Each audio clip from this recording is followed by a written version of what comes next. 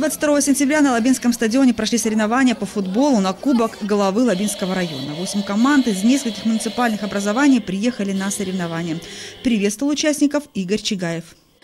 Мы с вами являемся свидетелями небольшого такого, не глобального события, но в первой в истории, насколько я помню, Лабинского района, что проводится соревнования по футболу на кубок главы района.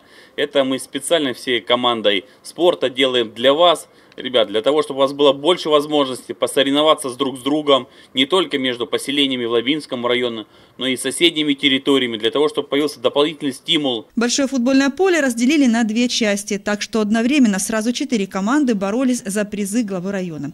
Первенство такого уровня проводится впервые.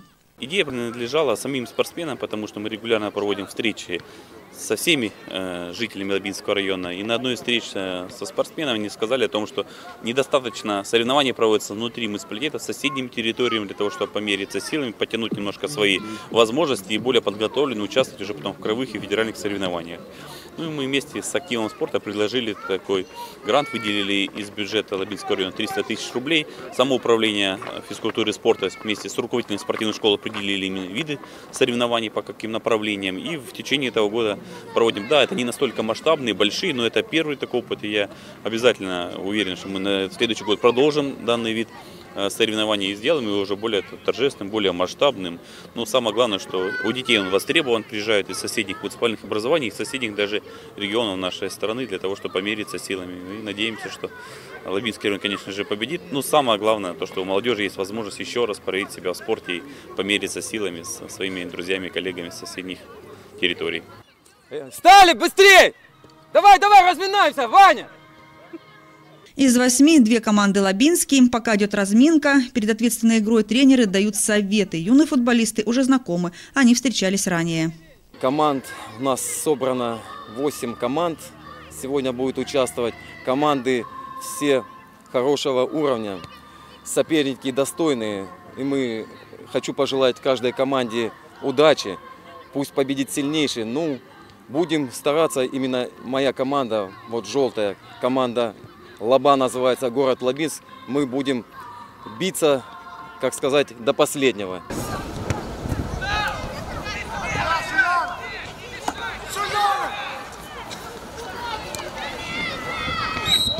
Ярославская, Унорокова одна команда.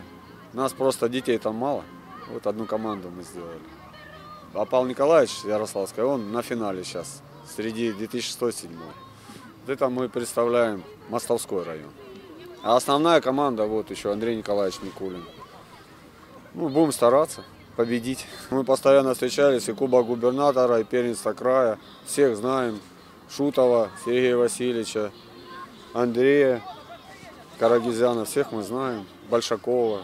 Общаемся, всегда встречаемся и товарищеские, и ну, все проводят. У нас тоже соревнования проводятся постоянно помогают вот такие игры Конечно, расти? они общаются всегда, друзья появляются новые. Это здорово. То, что игры за Кубок главы района пройдут напряженно, стало ясно с первых минут. Команды действительно подобрали сильные. В основном играли футболисты 2008-2009 годов рождения. Сейчас мы играем с Мостовским. Как бы команда в Мостовском очень хорошая, солидная. У нас играют ребятки 9-10 год в основном потому что, ну, как бы, восьмой год, скажем так, пока не успели мы немножко, но ничего, я думаю, если будут чаще проводиться такие соревнования, я думаю, что больше игр будет и больше, больше практики игровой. Первое место заняла команда «Крепыш» из Новокубанска, на втором – «Самарянин» из Мостовского. И на третьем месте команда станицы Ярославской. Наши спортсмены оказались на четвертом месте. По итогам соревнований лучшим вратарем признан Кирилл Давыденко из Новокубанска. Лучший нападающий Никита Дядечкин из Ярославской. Лучший бомбардир Сергей Неродик из Новокубанска. И лучший защитник Станислав Солощук из поселка Мостовский.